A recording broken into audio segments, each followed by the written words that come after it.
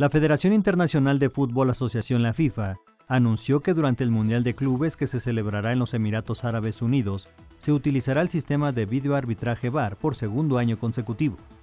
El VAR se emplea cuando hay jugadas dudosas en un partido, ya sea un gol fuera de lugar, una agresión no vista por el silbante, goles viciados por faltas previas, penaltis, tarjetas rojas o confusión de identidad,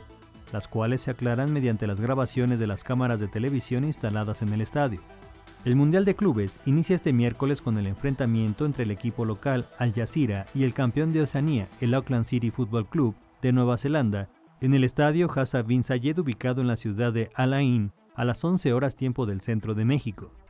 El ganador de este partido se medirá contra el equipo japonés Urawa Red Diamonds el sábado próximo, mismo día que el mexicano Pachuca entra en acción enfrentando al Wydad Athletic de Marruecos a las 7 horas tiempo del centro de México por el pase a semifinales del torneo.